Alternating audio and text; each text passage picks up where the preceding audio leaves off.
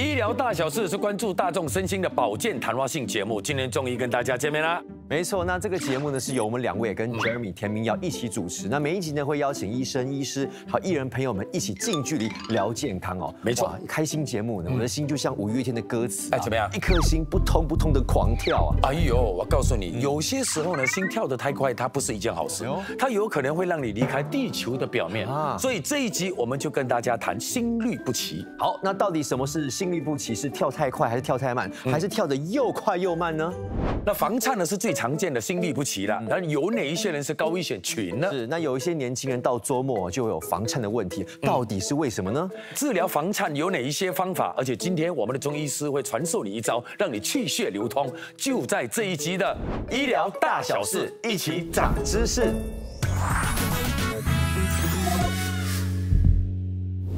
哇，Marco，刚才你说心跳太快不好嘞，对。你这样一讲，我紧张一下，我这样把脉哦，我像心脏哦，一分钟跳至少两百下，两百下啊，你还可以站在这里，你早就躺在这里了。两百下，很快。开玩笑，还是把我们的朋友请出来啦。哦来来来啊！我看到他就会心花怒放的陈丽珍，好他看到我会开心的不得了的姚文龙，是，还有就是心脏内科高级顾问医生陈怀庆教授，欢迎三位，欢迎，来来来，请坐，请坐，请坐。哎请坐。呦，好开心，好开心。没错，没错哈。哎呀，哎，其实哦，我们一开始聊这个心律不齐啊，据我了解啊，之前文龙哥你来我们节目是有提过哈，你有心律不齐的问题对吗？其实我没有很严重的问题，说心跳太快或太慢，只是我去做心脏检查的时候，他说你有轻微的心律不齐的问题，哦所以那时候他说我就有吃药了。你为什么去做检查？是因为你一直觉得心跳很快，是没？没有嘞，我那时候是觉得蛮喘的，就是我有点吸不到气的感啊觉，所以我就担心是我心脏出问题。了解 OK，丽珍应该没有这个问题吧？我是没有啦，只是偶尔喝太多杯咖啡的时候，我就觉得我的心跳跳得非常快。哎会会会会。是，所以我其实想要问陈教授，是不是因为喝太多咖啡的关系？这样算心律不齐吗，医生？算不是啦，这个只是心悸的一个感觉。心心心心悸不代表心律不齐。不一样，嗯，啊，心悸。心悸就是一种自觉的一个主观上的一个感觉，是。感觉到自己的心在跳，是是。但它不一定代表心律不齐的问题。OK，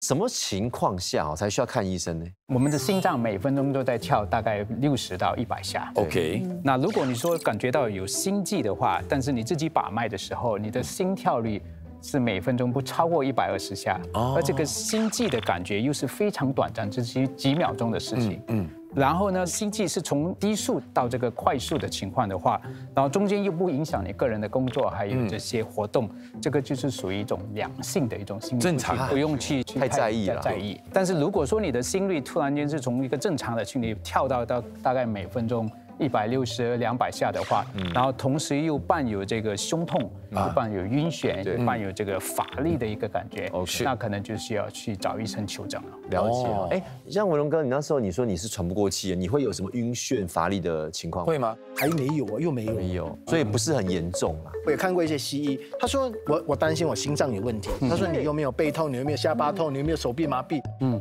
我就一直说我有问题，他说你没问题，我看了三四间 clinic 啦，他都说你没问题，我说我有问题，后来我不相信，我就跑到心脏科医生是是是去做一整睡一睡一个晚上，最后呢？出来没事，还是还是真的没事。所以所以医生读那么多，我们要相信他好不好？可是刚才他们聊的哈，就是比如说心跳太快了。对对对那，如果心跳偏慢，是不是也要关注一下？正常的心率应该是从六十到一百，所以每分钟低于六十的话，就属于一个慢心率。嗯。但我们要看他个个个人的一个临床的一个表现。如果这个人完全没有症状的话，而他的这个心率就处于大概百呃五十到六十的话，其实是没有关系的。是 OK 的。特别是年轻人，他们这个运动量非常大的话，他整个这个心脏的循环系统非常的这个呃发达，所以他的跳动率可能会比一般人慢。但是老年人，如果他的心率跳得比较慢，同时又患有这个晕眩或者乏力的感觉，那可能就是一种啊心律不齐的一个问题，可能需要放起搏器啊等等。是是是，那文龙大哥，你有做过心电图的测试吗？前几个月才刚做。OK 对去跑跑步机啊是是。我的心率成绩怎么样？？OK 是 OK OK OK 啊不然等下再试试看。反正今天我们的医生有带那个仪器来。对，好来吧。OK，那心电图是我们最广泛使用的心率检查的方式。它能记录非常重要的一些心率的信息，嗯，特别是在一个病人有症状的时候，我们可以从心电图看到他是否有这个心律不齐与否。是。那从这个荧光幕你可以看到文龙的这个心率其实是非常有规律、非常有规则、有序的一个跳动方式。这是我们所谓的窦性心率，是一种正常的心率，它每分钟大概跳六十下。OK，那如果说是不规律、不正常，它的形长状又是怎么样？如果我们比较一下这个上下的两幅心电图，上面的就是一种正常的窦性心率，下面的是一种房颤的一种心律不齐的心电图。你可以看得到，它呈现的是一个非常紊乱、非常无序、非常快速这样的一个跳动，就是一个典型的一个心律不齐症，也是就是房颤。那这种心电图，我们是每一年都需要做的吗？其实我觉得是不需要每年都做心电图哦我们可以在大概是四十岁的时候做一次身体检查，然后可以包括一个心电图。OK 是当中如果没有任何症状的话，我觉得五年、十年做一次还可以。就是不用刻意的去做。，对，但如果中间有什么心悸的情况之下的话，我们就应该用这个心电图来测试一下，到底是不是有心律不齐的问题。是如果一个病人他有这个心悸又很频繁，但时间又非常短，嗯，我们可能来不及做一个这样的一个静息心电图的话，那我们就要考虑使用一个动态的心电图的测试方式。怎么是动态的心电图啊？动态心电图是以这样的一个 T 字形的贴片，OK。我们只要把这个贴片放在病人的这个胸前，这个是一个记录器，哦。哦，把这个记录器也装上，按在这个贴片上面，啊这个病人就可以随身携带。在未来的七天内，不断的把病人的这日常生活中的心率全部给记录下来。冲凉也 OK。对，它是防水的，所以它也不会因为任何体位的变化或者是个活动而影响。所以要带就是，说它贴七天二十四小时这样不停对，看全七天都在记录，嗯啊，准确度高吗？哦，非常之高。那如果连了这个 T 字形的这个测测试的机器，如果我有不舒服，我应该怎么办呢？嗯其实你只要往这个记录器打击一下，那我们就知道在这个时段你有症状，那我会特别注意那个时段的心率。所以文龙可以放心了啊，一切都很正常，没事是的，很好，好，谢谢。好，那我们先稍作休息啊，广告之后会有患者的故事要分享，还有其他资讯哦，来，稍后见。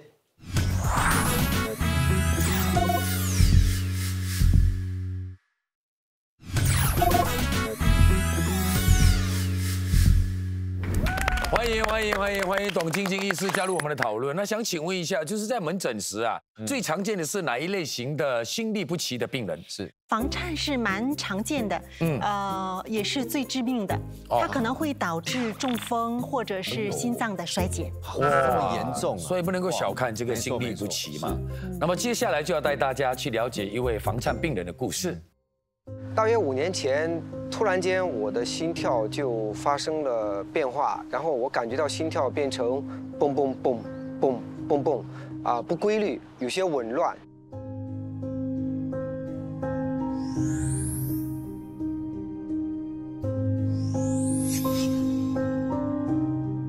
有一次我在晚上睡觉的时候，凌晨三点钟左右，突然间心脏不舒服，然后心跳有加快，然后我就惊醒了，坐在床上，大约这种现象持续了有三十分钟左右，然后慢慢它就自动消失了。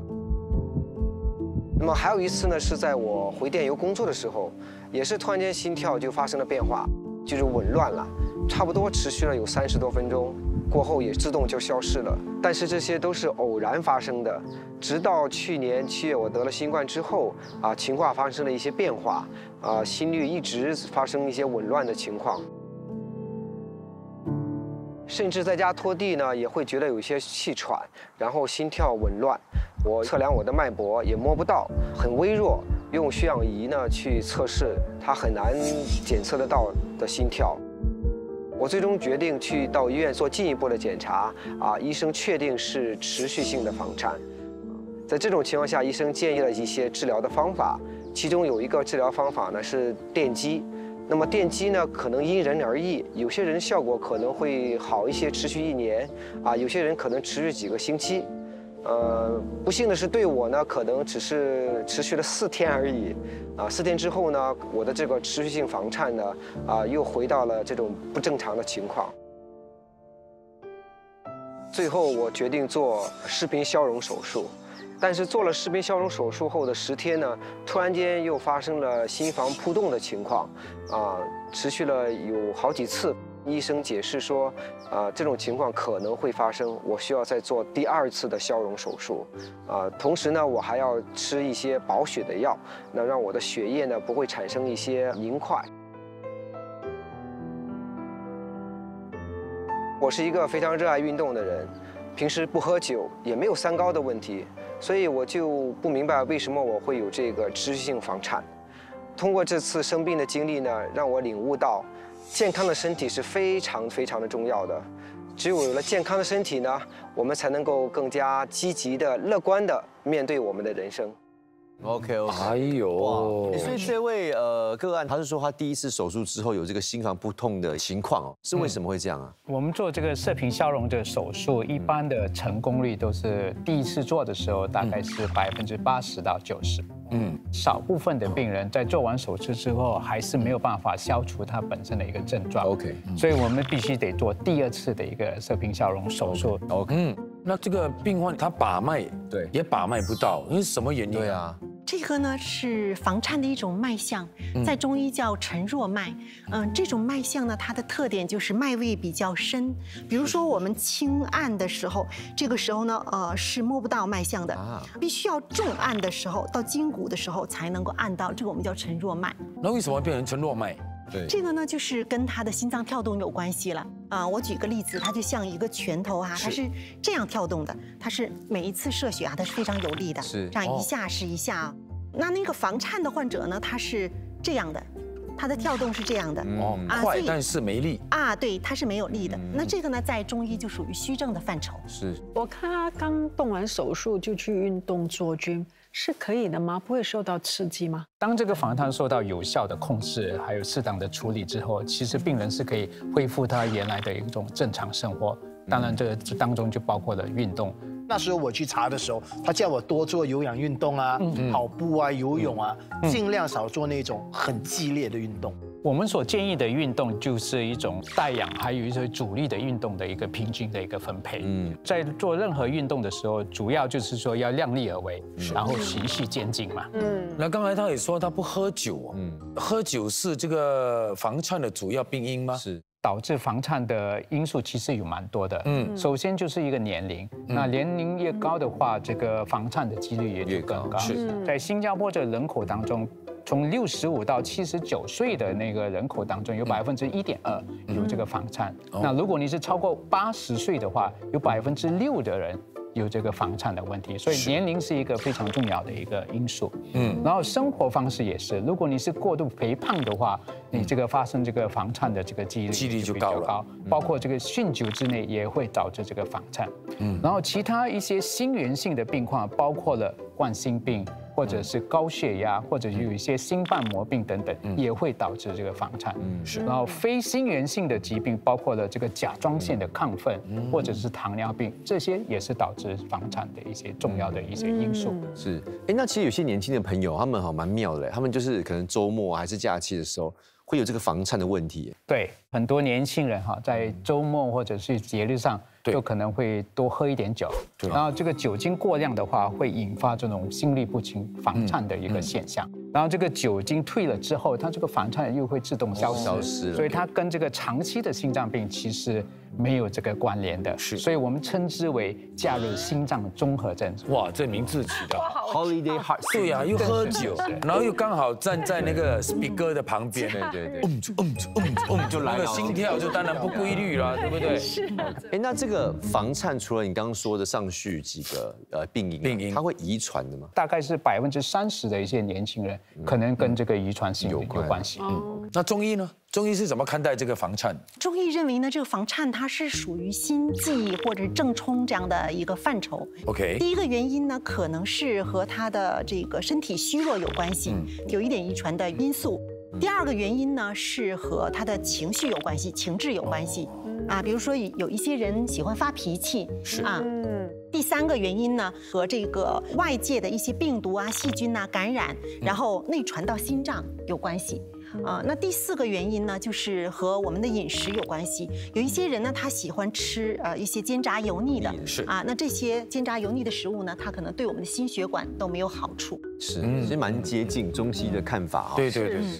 心房在紊乱的一个跳动的情况之下，嗯很容易形成这种血栓，会随着这个血液的移动跑到这个脑动脉里头，然后就导致这个中风。苦丁茶里面呢含有很多的这个氨基酸，还有一些维他命，是可以降我们血管里边的脂肪啊，可以通血管，有通血管的作用。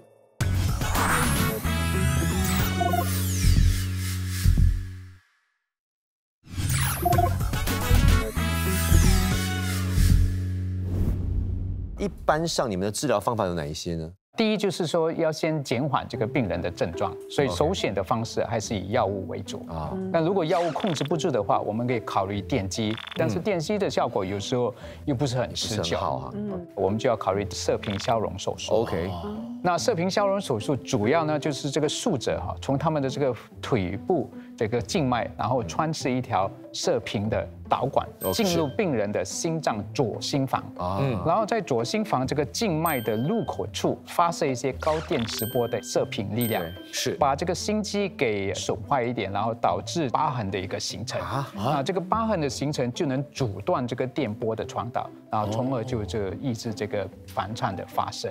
是。除了控制症状之外，我们最重要的还是要预防它的一个并发症的发生。是是。最最令人担心的就是脑栓塞的问题。为什么呢？就是说心房在紊乱的一个跳动的情况之下，很容易形成这种血栓。是那血栓是贴在这个。